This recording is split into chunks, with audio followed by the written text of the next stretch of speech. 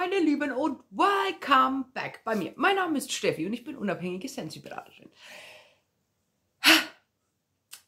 Einen wunderschönen Sonntag. Äh, Vormittag. Ja, Vormittag, ja. Halb elf. In Mitte Deutschland, in meinem Wohnzimmer. Kaffee. Passt heute alles so farblich hier schön bei mir zusammen. Also heute mal nicht im Bademantel, aber dafür in meinem Schlafshirt. Okay, also die äh, Woche hat es schon wieder echt in sich gehabt. Wer mein Back to the Roots Video verpasst hat, habe ich da ein Loch oder ist das ein Tier? Mein Gott, das ist ein Loch. Hier ist auch ein Loch. Oh Gott, ich, ich schaue hier wieder aus wie Sau. Ähm, also wer mein Back to the Roots Video vergeblich sucht, äh, ja, ich habe es auch noch nicht gemacht. Denn, ähm,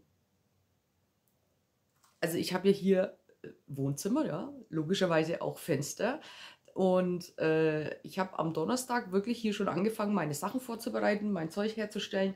Äh, und dann plötzlich sehe ich drüben bei meiner Lieblingsnachbarin den Notarzt und den Krankenwagen.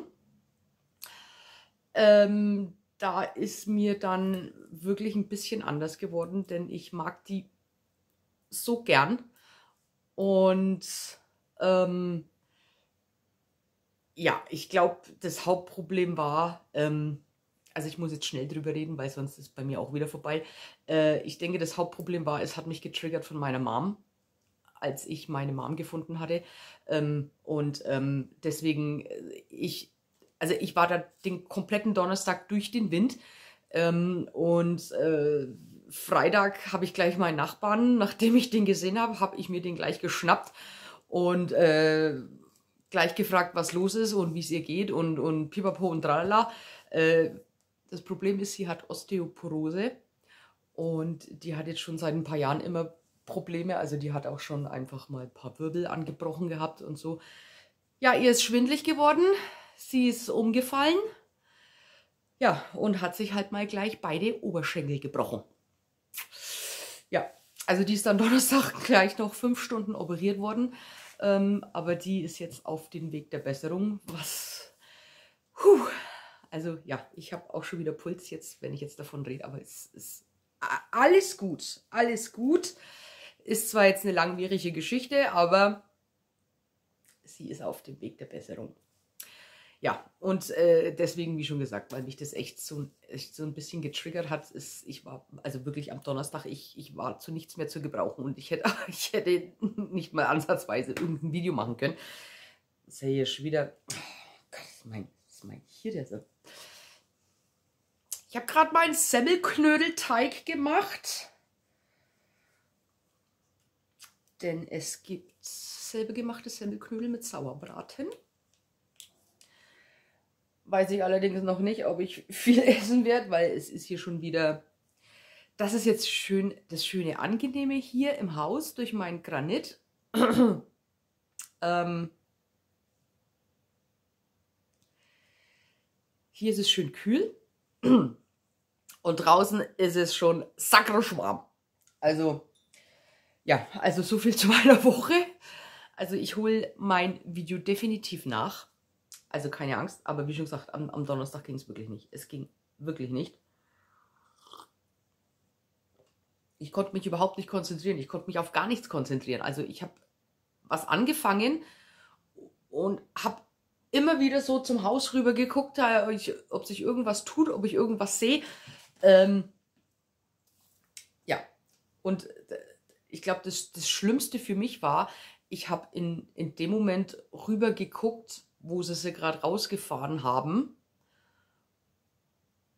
Und also sie hat wirklich schrecklich ausgeschaut. Also wirklich, also ich habe echt gedacht, das ist also alles jenseits von Gut und Böse. Und ähm, ja, es sag ja, es war echt ein unerwarteter Trigger, aber gut, da muss ich durch. Es ist ja nicht so, dass ich am, am Montag auch schon bei meiner, bei meiner Nageltante das Heulen angefangen habe. Also, ähm, ja, also, also ich sag, ich, ich habe, gut, jetzt, ich muss, ich muss wirklich aufpassen. Also, ähm, ich habe kein Problem damit, von meiner Mama zu reden. Also, sie ist jetzt, es geht jetzt ins sechste Jahr, wo sie tot ist. Ähm, aber wenn ich von mir aus rede, ist es bis zu einem gewissen Grad okay. Aber wenn mich so wenn was mich so, so unvermittelt trifft, also absolut ohne Vorwarnung, ja, dann brechen alle Dämme und ähm, ja, ich muss jetzt wirklich, ich muss jetzt, ich muss jetzt ein bisschen aufpassen. Also deswegen, ihr braucht euch jetzt hier dann nicht mein äh, psychisches ähm, Seelenleben anhören. Denn was habe ich erwärmt? Es ist, ein, es ist ein bisschen was. Es ist echt ein bisschen, ein bisschen, ein bisschen, ja, ein bisschen, ein bisschen. Ähm, wir, mit was fangen wir an? Wir fangen an. Ach ja, genau. Mit dem Cinderella Happily Ever After. Der ist ja so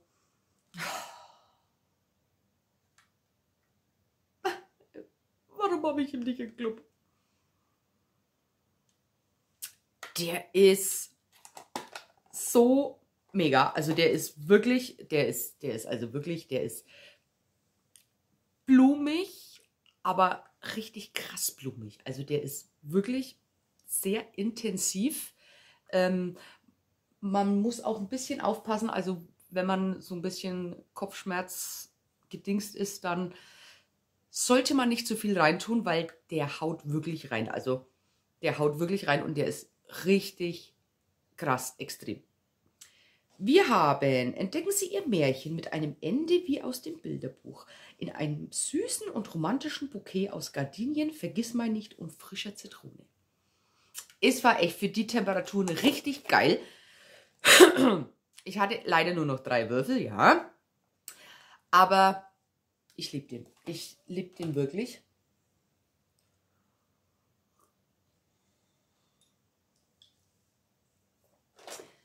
Dann, ach, wir machen jetzt erstmal die ganzen Disney hier. Die ganzen Disney.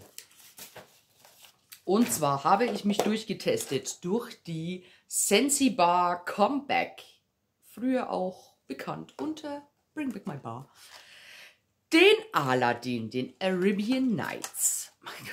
Also macht euch keine Gedanken da über meine Friese. Das ist früh aufgestanden, zusammengebunden, fertig. Ich muss aber hier echt jetzt langsam mal was nachrasieren. Also, das geht gar nicht mehr. Also, ähm, der ist, also wenn man, wenn man so ranriecht, ist er, riecht er so wirklich so schwer, parfümig, dunkel. Aber was mich echt ein bisschen enttäuscht hat, ähm, als er in der Lampe war, hat man den nicht lange gerochen. Also der ist wirklich nur so krass in der Packung. Also jetzt auch immer noch, obwohl es leer ist. Ähm, aber in der Lampe schwächelt er ein bisschen. Wir haben, begeben Sie sich auf eine exotische Reise durch warmen Sand und genießen Sie die sanfte Brise mit dem Duft von Bergamotte, Ilang Ilang und kristallisiertem Moschus. Dann der nächste. Das Bambi der Twitter Petted. Also der wäre ja echt wieder so die Kategorie Natur ich erfinde jetzt einfach die Kategorie Natur. Also meine Kategorie Natur. Also der ist auch so, der hat, der hat ähm, was Spritziges. Ähm, das ist auch, so kennt ihr das? Also, die Brille macht mich heute echt wahnsinnig, ne? Kennt ihr das, wenn ihr früh vor allen anderen Menschen, also die meisten Hundebesitzer werden wissen, was, welche Tageszeit ich meine. Also sprich, wenn doch kein Mensch auf der Straße unterwegs ist früh und äh, ihr lauft da so an der Wiese entlang und ähm, der Tau auf der Wiese, also das, das macht mir jetzt echt wahnsinnig. Was ist denn da? So der Morgentau, das riecht ja früh immer so richtig extrem frisch. Also die, die Luft hat sich quasi über Nacht erholt und ähm,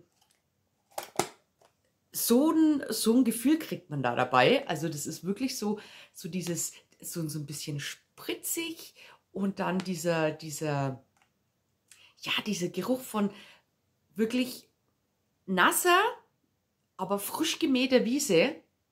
Das ist, ist echt, der ist echt richtig, richtig geil. Der Frühling liegt in der Luft und bezaubert sie mit einer Mischung aus sonnengereiften Zitronen, Morgentau und satten wilden Moos. Und Moos, finde ich, riecht man auch richtig schön raus. Und deswegen ist der echt auch so, so ein richtig schöner Naturduft. Richtig, richtig schön.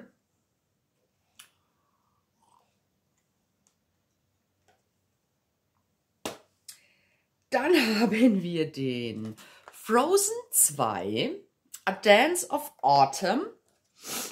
Also, ja.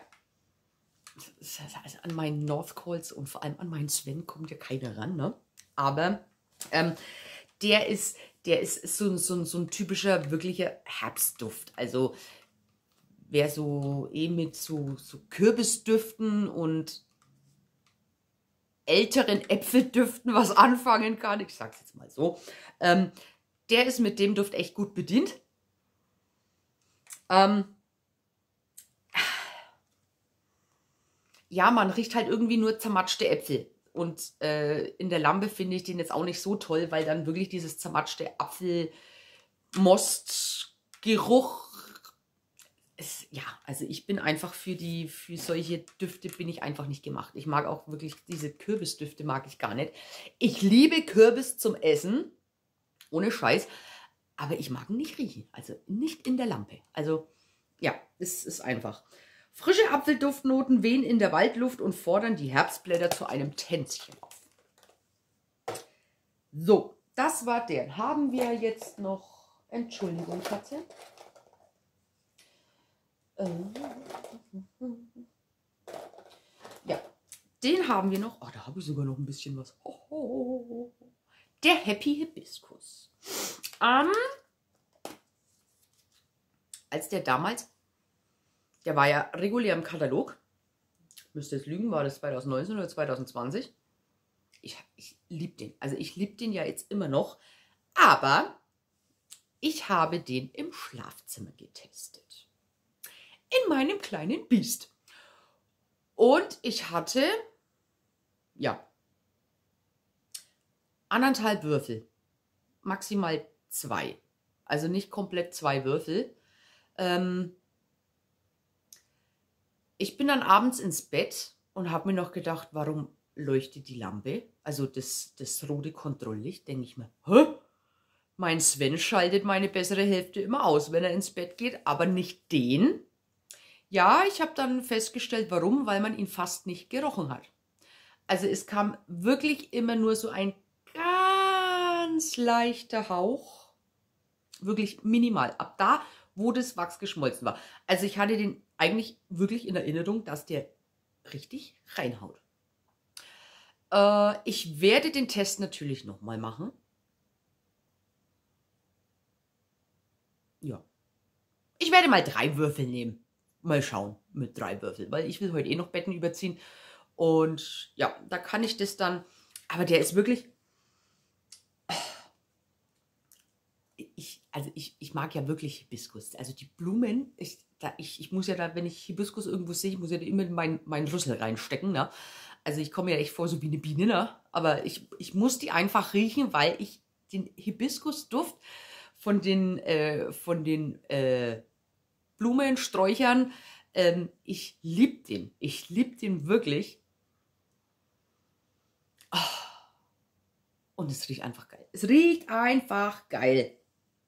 Hibiskusblüten sind über einen milden, pudrigen Moschusduft verteilt und flüstern zart wie eine Sommerbrise. Ja, Also es wäre wirklich schade, wenn der sich so entwickeln würde, dass, dass ich den echt nicht wahrnehme. Also fast nicht wahrnehme. Aber wie schon gesagt, ich werde den nochmal testen. Weil der ist wirklich gut. Der ist wirklich, wirklich gut. Es ist so ein richtig schöner Sommerduft. Und mit diesem Moschus habe ich ja eh so. Und das ist wirklich so ein bisschen, so ein bisschen pudrig, ja? Also so, so, so, so pudrig, blumig. Schön! Ach Gott, die passen heute alle zu mir. Die passen heute alle zu mir. Soll ich die Haare doch pink machen? Okay, von Haaren fange ich jetzt gar nicht mehr an, weil sonst komme ich jetzt hier wieder, wieder, rede ich hier mich dann hier wieder um Kopf und Kragen mit meiner schwerwiegenden Haarkrise, in der ich mich momentan befinde. Aber okay, ähm, das soll mal nicht euer Problem sein. Als nächstes habe ich auch leer gemacht, den Sugar. Also der ist ja so, so, so zuckerwattrig süß. Ich habe jetzt echt die Duftbeschreibung nicht mehr, weil ich nicht mehr auf dem Schirm hatte, dass ich da noch was da habe. Ich habe den letztens rausgekramt. Also der ist wirklich, der ist, der, ich glaube, wie heißt es mit, ich glaube, gelbe, gelbe Zuckerbonbons, Zitronenbonbons, irgendwie so in der Art. Der ist auf jeden Fall, der ist süß. Der ist wirklich so, so eine Mischung zwischen, ich weiß nicht, Zuckerwatte, äh, puren Zucker, äh, Vanillezucker, alles, also alles, was ihr euch an Süße vorstellt, ist in diesem Duft drin. Und ich finde ihn einfach gut. Der ist, also wer echt, der könnte eigentlich wieder in die Kategorie Bäckerei aufgenommen werden, wäre ich schwer dafür. Mein Kaffee ist auch gleich schon wieder leer. Dann, jetzt muss ich hier mal ein bisschen Nee, wir machen jetzt erst einmal den.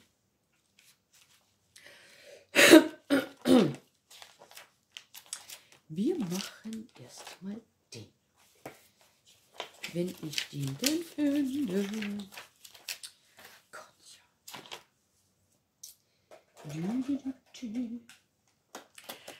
Dann habe ich auch leer gemacht meinen Black Raspberry Vanilla.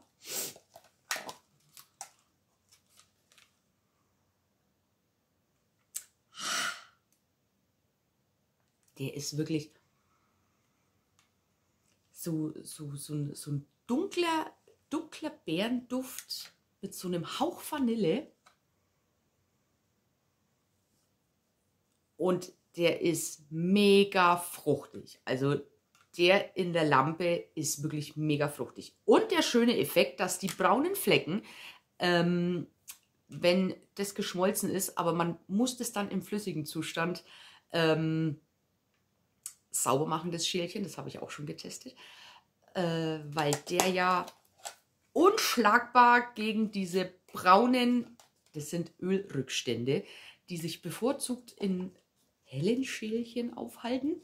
Also in meiner Tinkerbell ist es momentan ganz schlimm. Ich meine, ist ja das schöne Bild von der Tinkerbell drin.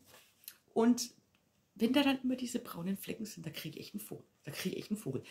Und eben, der ist eben so das die Geheimwaffe gegen diese braunen Flecken. Aber man muss dieses Wachs dann eben, eben mit unserem äh, Cotton Cleanup Pad oder mit Watte oder mit einem Kleenex, whatever, äh, wie ihr das auch immer macht, ähm, im flüssigen Zustand rausholen und dann ist das Schälchen auch wieder schön. Also nicht komplett, aber ich muss wirklich sagen, also der Großteil ist echt weg. Also durch diesen Duft und der ist wirklich der ist echt so schön bärig, bärig, fruchtig und oh, ich krieg Hunger. Köstliche, sonnengereifte Beeren mit einem Hauch von Vanille. Ist ein Bestseller-Duft übrigens. Hm. Dann muss ich hier dann mal umblättern, wo ich den, wo ich das hingeschmiert habe.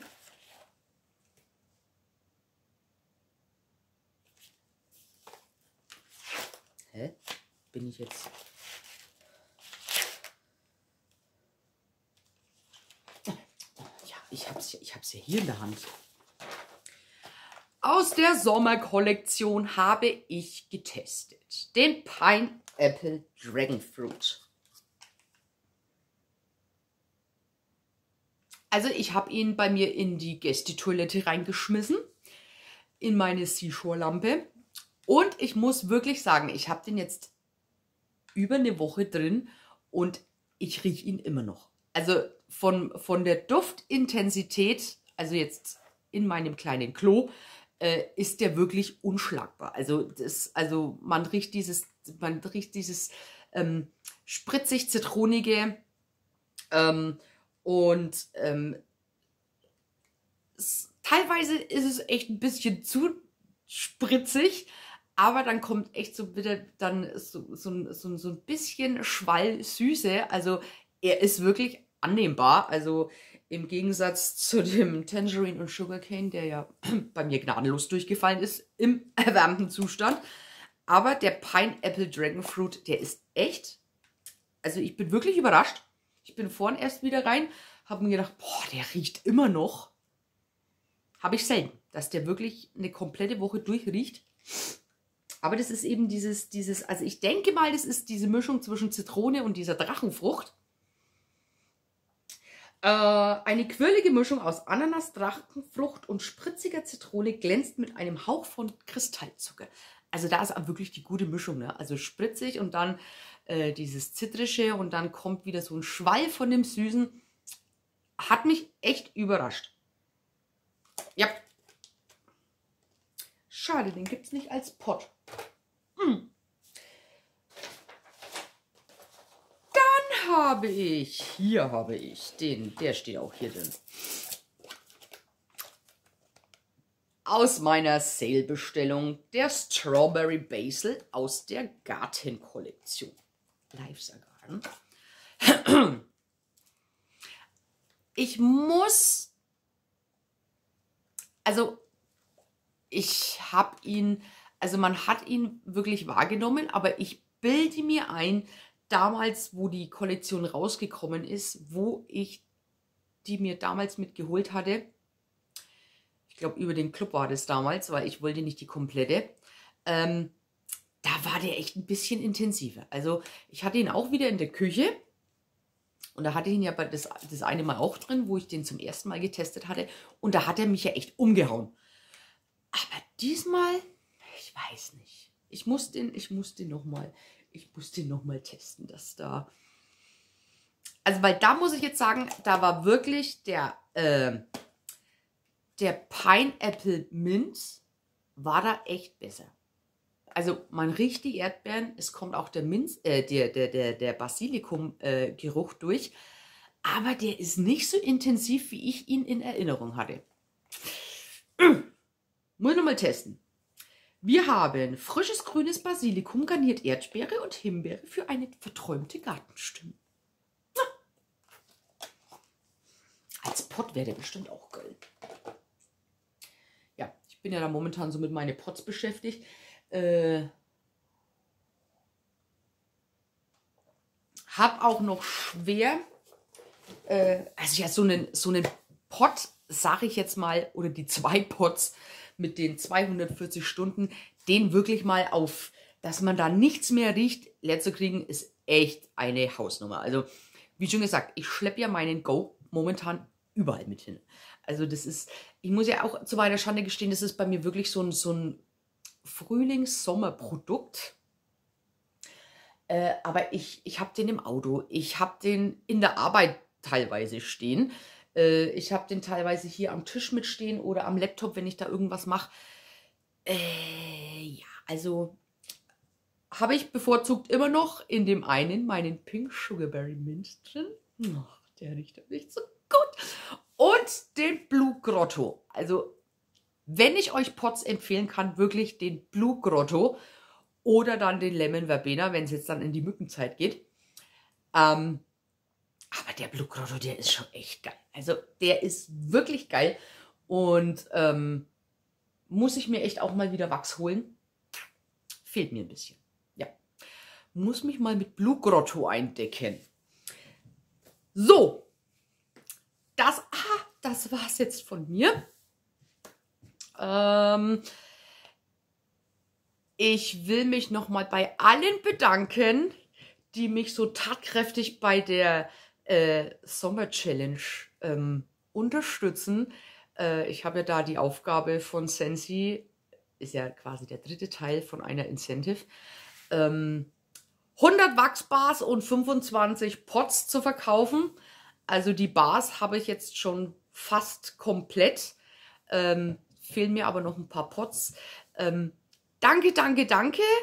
Und ähm, ich habe mir da was richtig Geiles überlegt, wenn ich das wirklich schaffen sollte.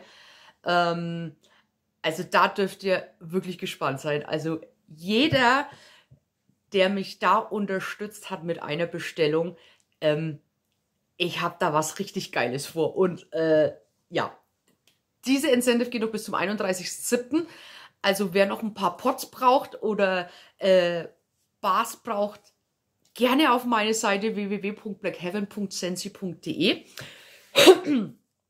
oder äh, ihr dürft auch gerne mir über WhatsApp Bescheid sagen, ähm, wenn ich eine Sammelbestellung, ich habe meistens so, ja, so einmal in der Woche habe ich eine Sammelbestellung, da ist dann der Versand billiger, äh, zumindest von mir zu euch. Und ähm, dürft ihr sehr gerne weiter einkaufen. Und wie schon gesagt, ich hoffe, es scheitert nicht an den Pots. wäre wirklich tragisch, weil das wäre dann zumindest ein Teil, weil diese Incentive hat sich ja in drei Teile äh, aufgesplittet, dass ich dann wenigstens den dritten Teil von überhaupt von einer Incentive mal geschafft habe. Und ähm, da bin ich jetzt schon mega happy, wie viel, wie viel da jetzt schon zusammengekommen ist von äh, Wachs und Pots. Und deswegen, ich, ich werde es natürlich äh, verkünden, wie ich das mache. Aber allerdings, und ähm, es sind ja auch meistens nur meine äh, VIPler aus meiner WhatsApp-Gruppe. Da werde ich das in der WhatsApp-Gruppe natürlich verkünden, weil das sind wieder so Sachen, das darf man nicht öffentlich machen und deswegen in meiner VIP-WhatsApp-Gruppe. Und wer da noch hinzustoßen möchte und eine neue Duftbraut sucht, darf sich gerne bei mir melden und der bekommt dann den Link von mir und dann ähm, es wird auf jeden Fall richtig geil, was ich davor habe. Ich freue mich da wie Sau. Und ähm, ja, wie immer, wenn euch das Video gefallen hat, lasst mir doch ein Däumchen da oder ein Abo oder beides. Ich freue mich immer riesig. Und in diesem Sinne, habt noch einen wunderschönen Sonntag. Ich muss jetzt schnell noch Wäsche waschen, weil gestern hat es ja auch geheißen, es regnet nicht. Ja, und was war? Ständig ist mal ein Schauer runtergekommen. Ja gut, ich habe meine Wäsche trotzdem draußen hängen gelassen, die ist dann auch trocken gewesen. Und ja, jetzt dann einen wunderschönen Sonntag und wir sehen uns spätestens am Donnerstag.